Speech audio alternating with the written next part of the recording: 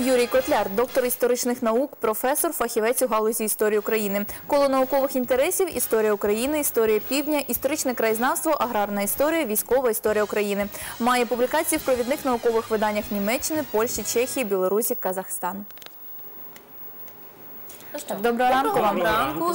Дякую, що знайшли час, що завітали до нашої ранкової студії. Тож будемо говорити про історичні віхи цієї події. Варто про це знати, варто пам'ятати. І, зокрема, кажуть, що взагалі ця подія дещо міфологізована.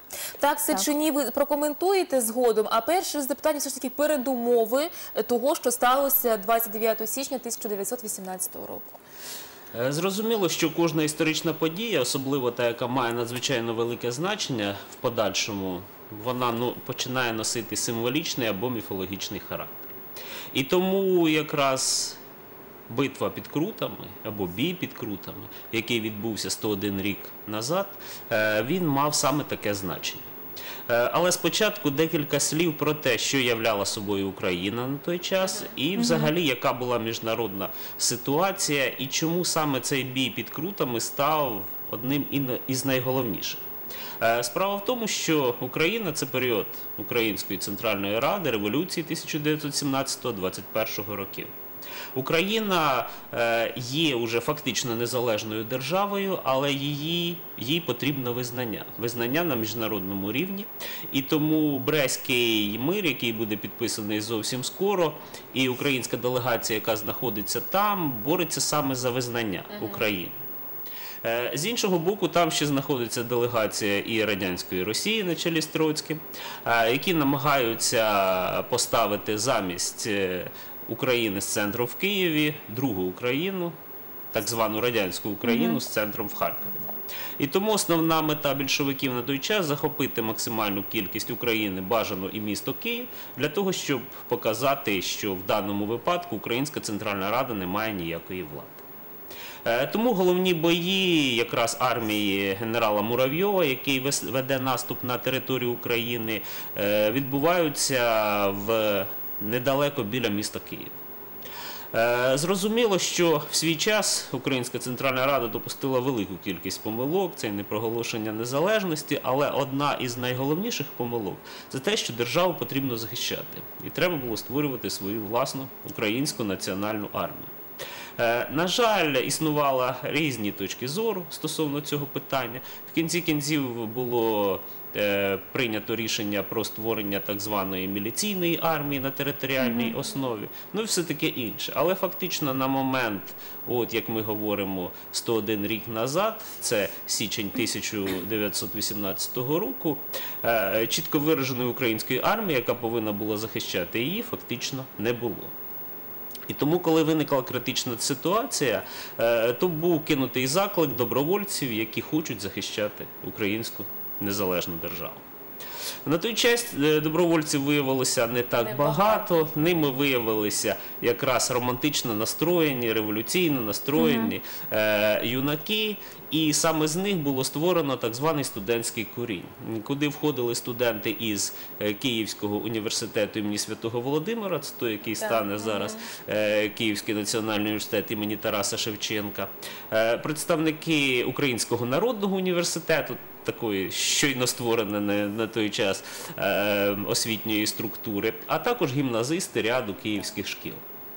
Е, дане об'єднання назвали, як я вже сказав, студентський курінь, і кількість людей, які війшли до нього, налічувало біля 300 чоловік. І разом з тим до них додали ще так званий ще один структурний підрозділ, куди війшли юнкери з е, української військової школи.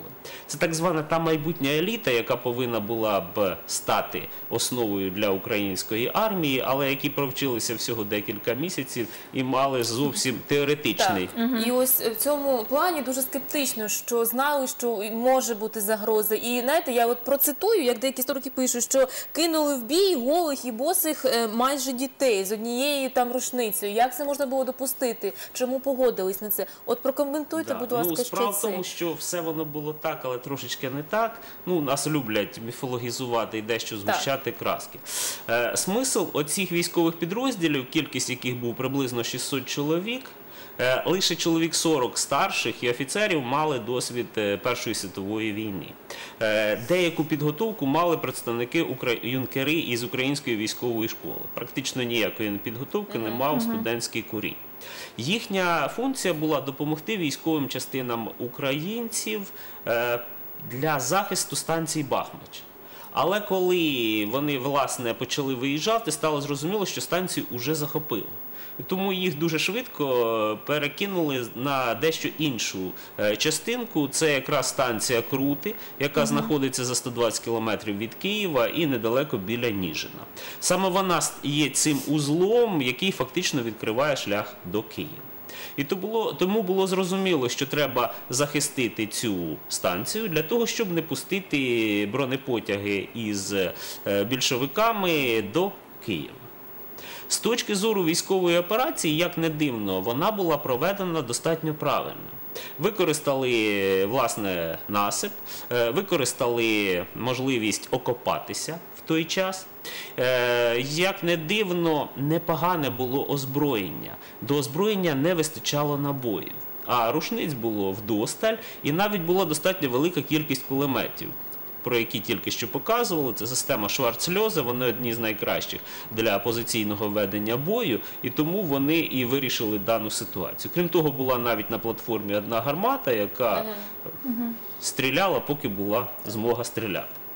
Е, Таким чином виявилося два фланги. З одного боку стояли юнкери, з іншого боку студенти. І коли більшовики, власне, перша атака більшовиків, це було більше схоже на парад. Вони йшли як на мітинг, і їх дуже швидко розстріляли. Е, Потім пішла друга, третя атака. І наскільки це було можливо, е, студентам вдалося це проводити цей захист. Таким чином, з точки зору як оборонного бою, який виконував певні функції, все достатньо було правильно. Але інша справа, що не було достатнього досвіду, не було нормальної комунікації між частинами. І коли і плюс декілька оцих трагічних факторів. На допомогу студентам і юнкерам йшов військовий загін достатньо великий Симона Петлюра, але який вийшов з Києва і йшов їм на допомогу. Але бу- бу- буквально зразу ж розпочалося повстання в арсеналі, і тому ці військові частини повинні Пов- були повернутися. Е, З іншого боку, прийшов е, ще один такий е, непри... непри... прийшла ще одна неприятна звістка, що в Ніжині один із українських е, загонів імені якраз Тараса Шевченка, вони заявили, що вони відходять від Центральної Ради і переходять на бік більшовиків. Стало зрозуміло, що якщо з Ніжина можуть зовсім перекрити, вони залишаться в повному оточенні. Тому прийшов наказ відступити. Тим більше, що основна функція затримати більшовиків вже була виконана. Але знову ж таки, якщо юнкери відступили достатньо активно і нормально, то до студентів цей наказ не дійшов. І вони зрозуміли, що треба не відступати, а наступати. Наступати, Да. так. І тому якраз саме оці так. дітки, які були практично не підготовлені, вони фактично пішли в наступ. Більша частина з них загинула, а якраз е, 20, да, навіть не 28, 35 чоловік було е, заарештовано, вони потрапили в полон. Після цього починається оця трагедія, коли над дітьми починають знущатися, на ранок їх розстрілюють, 27 чоловік розстріляли, 28-му вдалося втекти, але його все одно піймали, розстріляли, заодно спалили хату, куди він е, заховався. І перед самим розстрілом один із студентів починає співати гімн Ще не вмерла так, це Україна. перше, да. Да, це було так символічно. І місцеве населення потім говорить про те, що більшовики взагалі оскаженіли, вони розстріляли, а потім навіть мертвих почали колоти багнетами. І, Ну, страшні да, події, страшні це надзвичайно історії. страшні події. Е, Тому в даному випадку е, головне, щоб зробили студенти і юнкери, вони от втримали на декілька днів е, Київ від захоплення більшовицькими військами. І це дало змогу підписати Брестський мирний договір, і Україна була визнана на міжнародному рівні. Та маємо ось такі от е, висновки так цієї Але трагедії. потім почалася уже навіть тоді почалася сакралізація даного образу, тобто автоматично переведення е, в розряд священного або символічного. Справа в тому, що коли Центральна Рада повертається до Києва. Це відбувається дуже швидко. Буквально на початку березня, уже за допомогою е, союзницьких е, німецько-австрійських військ. е, Центральна Рада повертається і 19 березня. е, За пропозицією Михайла Грушевського відбувається офіційне перепоховання, тому що після того, як студентів е, розстріляли, місцеве населення похоронило їх всіх в загальній такій братській могилі. Потім відбулося перепоховання. І перепоховання якраз на такому святому місці для Києва, так званій Аскольдовій могилі. І оце перепоховання е, стало фактично оцією першою таким першим пунктом е, до міфологізації даного образу. Е, Михайло Грушевський, як відомий історик, дуже добре зрозумів, що країні потрібні герої.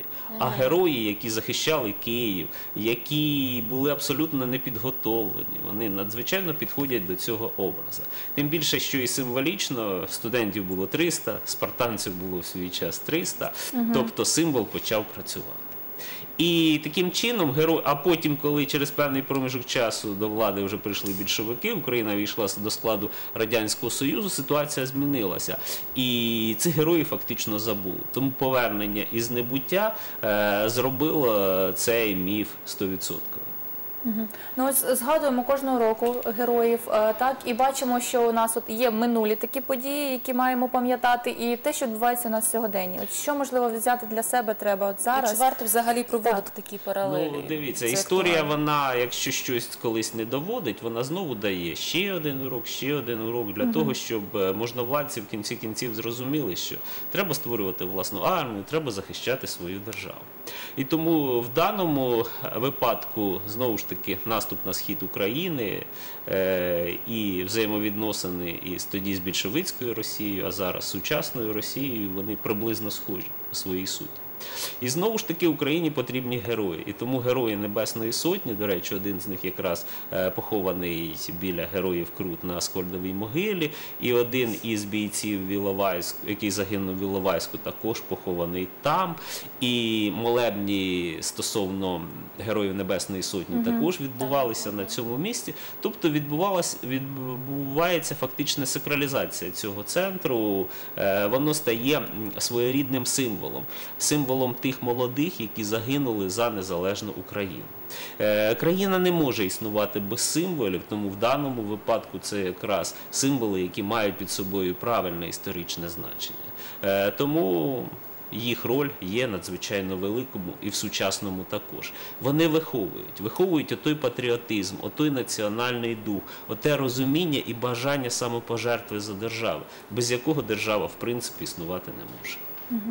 Дякуємо вам. Щиро вам е, Так, що роз'яснили. Е, Я думаю, це варто знати, варто пам'ятати і згадувати усім, щоб е, створювати нашу незалежну Україну. Я нагадую, до нас сьогодні А найголовніше брати уроки з цього, да, щоб не повторювати потім помилок, тому що якось історія переплітається, ну і дуже схожі деякі події одна на одну. Ми На жаль, так. Е, Дякуємо, що до нас завітали. Юрій Котляр, доктор історичних наук, професор, також фахівець у галузі історії України, був сьогодні у нас в гостях.